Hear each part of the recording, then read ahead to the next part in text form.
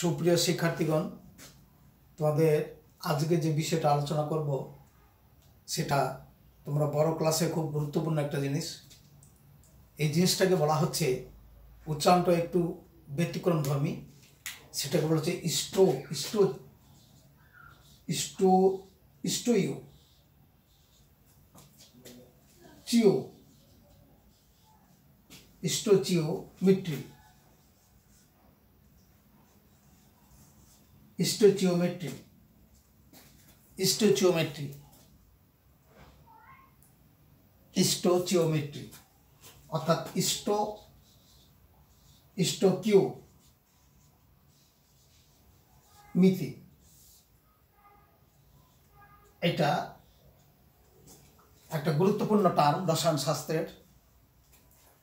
নামটাও দেখতেছ একটু ব্যতিক্রম ধর্মী নাম। এটাতে বলা হচ্ছে এ ধরনের জিনিসটা। ধরি, এ এবং বি বিক্রিয়া অংশগ্রহণ করে সি এবং ডি উৎপন্ন করল।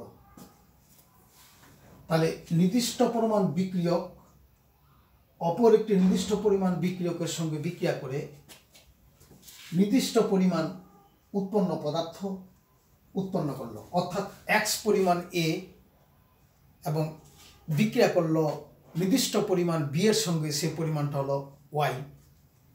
ওয়াই পরিমাণ বির সঙ্গে বিক্রিয়া করে এম পরিমাণ সি এবং এন পরিমাণ ডি উৎপন্ন করল। এবং বিক্রিয়াটিতে বলা হচ্ছে নির্দিষ্ট পরিমাণ বিক্রিয়ক অপনির্দিষ্ট পরিমাণ বিক্রিয়কের সঙ্গে উৎপন্ন করে, যদি নির্দিষ্ট পরিমাণ উৎপন্ন পদার্থ উৎপন্ন করে, তবে এই বিক্রিয়াকে বলা হবে স্টোচিওমেট্রি।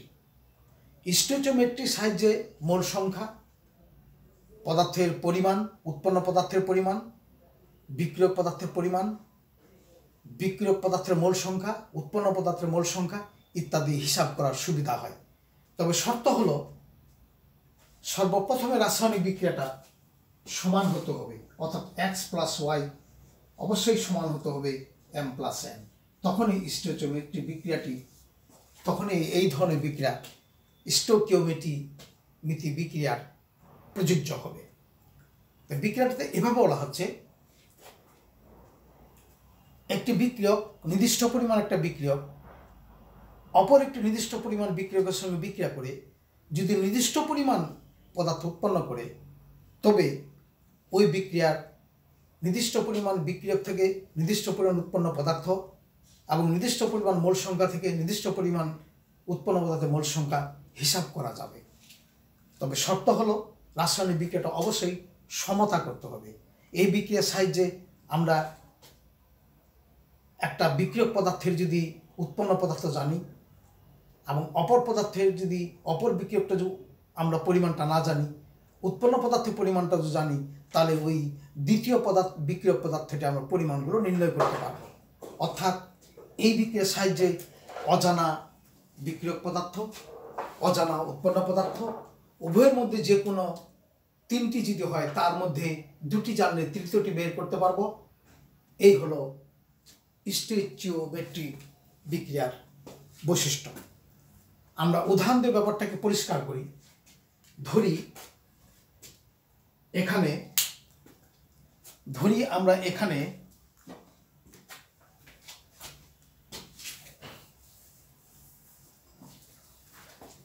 একটি নির্দিষ্ট আমরা বিক্রিয়া নিই ধরি আমরা ম্যাগনেসিয়াম। বিক্রিয়া করল অক্সিজেনের সঙ্গে, যা তোমাদের বইতে আছে, সেই সম্বন্ধে সেটাই বোঝাচ্ছি।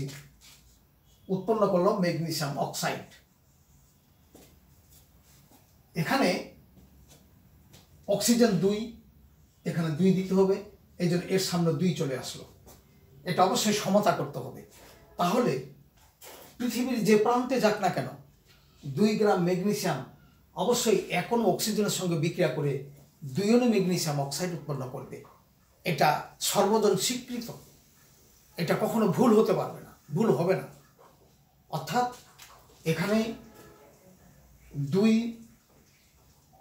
অণু বা পরমাণু দুইটি পরমাণু, দুই অণু বা দুইটি পরমাণু ম্যাগনেশিয়াম বিক্রিয়া করল, এক অণু অক্সিজেনের সঙ্গে দুই অণু ম্যাগনেসিয়াম অক্সাইড উৎপন্ন করল। অর্থাৎ অবশ্যই পৃথিবীর যে কোনো প্রান্তে যাওয়া যাক।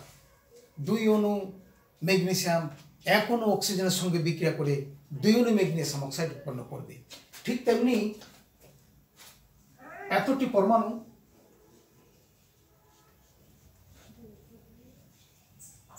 এতটি ম্যাগনেসিয়ামের পরমাণু বিক্রিয়া করবে।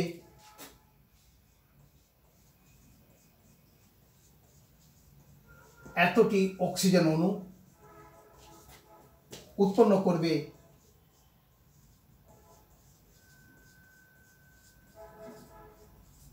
এতটি ম্যাগনেট অক্সাইডের অণু। অর্থাৎ এতটি পরমাণু ম্যাগনেসিয়ামের two into six point zero two three into ten to the power twenty three এতটি ম্যাগনেসিয়ামের পরমাণু। বিক্রিয়া করবে six point zero two three into ten to the power twenty three এতটি অক্সিজেন অণুর সঙ্গে। বিক্রিয়া করে উৎপন্ন হবে two into six point zero two three into ten to power twenty three এতটি ম্যাগনেসিয়াম অক্সাইড অণু উৎপন্ন করবে। অনুরূপভাবে এক গ্রাম ম্যাগনেসিয়াম চব্বিশ, গুণন দুই অর্থাৎ আটচল্লিশ গ্রাম ম্যাগনেসিয়াম বিক্রিয়া করবে। এখনও অক্সিজেন ষোলো গুণন দুই, বত্রিশ। বত্রিশ গ্রাম অক্সিজেনের সঙ্গে বিক্রিয়া করে উৎপন্ন করবে চব্বিশ প্লাস ষোলো দ্যাট ইজ টু ইন্টু শূন্য, অর্থাৎ একটি গ্রাম। অর্থাৎ একটি গ্রাম ম্যাগনেসিয়াম অক্সাইড উৎপন্ন করতে বত্রিশ গ্রাম অক্সিজেনের প্রয়োজন হবে এবং তৎসঙ্গে ম্যাগনেসিয়াম বিক্রিয়া করবে আটচল্লিশ গ্রাম। এই আটচল্লিশ গ্রাম থেকে কখনো পঞ্চাশ গ্রাম হবে না। এই আটচল্লিশ গ্রাম অবশ্যই বিক্রিয়া করবে বত্রিশ গ্রামের সঙ্গে, বিক্রিয়া করে উৎপন্ন করবে আশি গ্রাম ম্যাগনেসিয়াম অক্সাইড। যে প্রান্তে বিশ্বের যে কোনোখানে যাই, যেখানে আমরা যাই না কেন, এটা সর্বজন একটা স্বীকৃত ব্যাপার। এটাকে কখনো হেরফের করা যাবে না। অর্থাৎ আটচল্লিশ গ্রাম ম্যাগনেসিয়াম ম্যাগনেসিয়াম বিক্রিয়া করবে বত্রিশ গ্রাম অক্সিজেনের সঙ্গে এবং উৎপন্ন করবে আশি গ্রাম অক্সিজেন। এটা হলো স্টোকিওমিটি বিক্রিয়ার বৈশিষ্ট্য এবং এই বিক্রিয়াতে অবশ্যই সমতা আনতে হবে। এখন আমরা কতগুলো সমস্যায় চলে যাই। এই বিক্রিয়ার সাহায্যে অজানা উৎপন্ন পদার্থের পরিমাণ বা অজানা বিক্রিয়ক পদার্থের পরিমাণ জানা উৎপন্ন পদার্থ থেকে আমরা বের করতে পারব। যেমন, এখানে যদি বলা হয় যে পাঁচ গ্রাম ম্যাগনেশিয়াম অক্সাইড কত গ্রাম অক্সিজেনের সঙ্গে বিক্রিয়া করে কাঙ্ক্ষিত পরিমাণ ম্যাগনেশিয়াম অক্সাইড পাওয়া যাবে? তাহলে আমরা জানি আমরা জানি ম্যাগনেসিয়াম ম্যাগনেশিয়াম অক্সিজেনের সঙ্গে বিক্রিয়া করে ম্যাগনেশিয়াম অক্সাইড উৎপন্ন করে।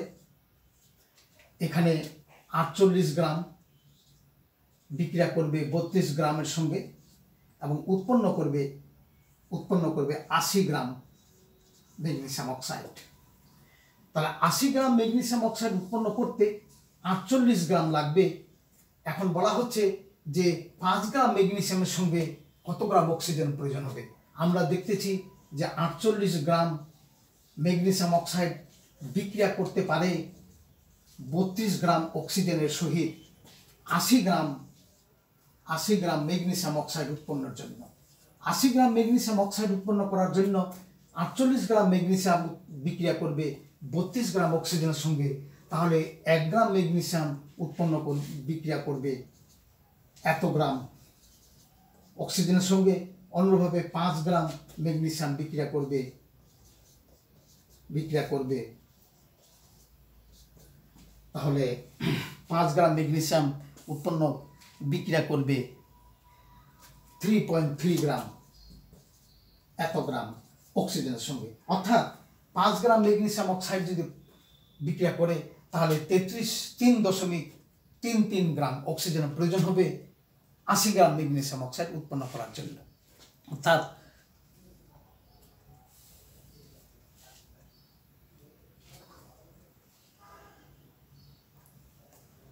এই হলো রাসায়নিক বিক্রিয়ার, অর্থাৎ পাঁচ গ্রাম ম্যাগনেসিয়াম অক্সাইডের জন্য এই পরিমাণ অক্সিজেনের সরবরাহ করতে হবে। যদি আমরা আশি গ্রাম ম্যাগনেসিয়াম অক্সাইড উৎপন্ন করতে চাই, তাহলে পাঁচ গ্রামের জন্য এত গ্রাম অক্সিজেন সরবরাহ করতে হবে। অনুরূপভাবে যদি আমরা দেখি, অনুরূপভাবে আমরা যদি দেখি, দ্বিতীয় সমস্যায় যে দুই গ্রাম ম্যাগনেসিয়াম অক্সাইড প্রয়োজনীয় অক্সিজেন সরবরাহ করে কত গ্রাম ম্যাগনেসিয়াম অক্সাইড উৎপন্ন করবে? তাহলে আমরা জানি আটচল্লিশ গ্রাম আটচল্লিশ গ্রাম ম্যাগনেসিয়াম উৎপন্ন করতে পারে আশি গ্রাম ম্যাগনেসিয়াম অক্সাইড। অর্থাৎ আটচল্লিশ গ্রাম ম্যাগনেসিয়াম উৎপন্ন করার সামর্থ্য আছে, বত্রিশ গ্রাম অক্সিজেনের সঙ্গে বিক্রিয়া করে আশি গ্রাম ম্যাগনেসিয়াম অক্সাইড উৎপন্ন করবে। অর্থাৎ এক গ্রাম ম্যাগনেসিয়াম উৎপন্ন করবে এত গ্রাম ম্যাগনেসিয়াম অক্সাইড, অনুরূপভাবে দুই গ্রাম ম্যাগনেসিয়াম উৎপন্ন করবে আশি into two is defied by forty eight that is that is দুই গ্রাম ম্যাগনেসিয়ামের জন্য পাওয়া যাবে আশি গ্রাম, বুঝে পাওয়া যাবে thirty three point three gram thirty three point three point three gram oxygen এত গ্রাম, এক এত গ্রাম ম্যাগনেসিয়াম অক্সাইডের প্রয়োজন লাগবে। এই হলো স্টোকিওমেট্রি রাসায়নিক বিক্রিয়ার উদাহরণ। অনুরূপভাবে দশ গ্রাম ম্যাগনেসিয়াম অক্সাইড, কত গ্রাম অক্সিজেন দরকার লাগবে ম্যাগনেসিয়াম অক্সাইড উৎপন্ন করতে? অর্থাৎ আটচল্লিশ গ্রাম ম্যাগনেসিয়াম যদি বত্রিশ গ্রামের সঙ্গে বিক্রিয়া করে আশি গ্রাম ম্যাগনেসিয়াম অক্সাইড উৎপন্ন করে, তাহলে দশ গ্রাম ম্যাগনেসিয়াম অক্সাইড উৎপন্ন করতে, তার আশি গ্রাম আশি গ্রাম ম্যাগনেসিয়াম অক্সাইড উৎপন্ন করতে অক্সিজেন লাগে। অক্সিজেন লাগে বত্রিশ গ্রাম বত্রিশ গ্রাম। এখন দশ গ্রাম উৎপন্ন করতে কত গ্রাম লাগবে? দ্যাট ইজ লাগে thirty two by eighty ten into thirty two into ten is defined by eighty that is that is আট আট চারে বত্রিশ, অর্থাৎ চার গ্রাম। অর্থাৎ দশ গ্রাম ম্যাগনেসিয়াম অক্সাইড উৎপন্ন করার জন্য চার গ্রাম অক্সিজেনের প্রয়োজন লাগবে। এই হলো স্টেচোমেট্রি বিক্রিয়ার বৈশিষ্ট্য। এই বিক্রিয়া থেকে আমরা বিক্রিয়ক পদার্থের পরিমাণ এবং উৎপন্ন পদার্থের পরিমাণ যদি যে কোনো একটি অজানা থাকলে আমরা সেটা বের করতে পারব। এইভাবে তোমরা অন্যান্য বিক্রিয়ার হিসাবগুলো আরও বের করতে পারবে। তোমাদের সকলকে ধন্যবাদ।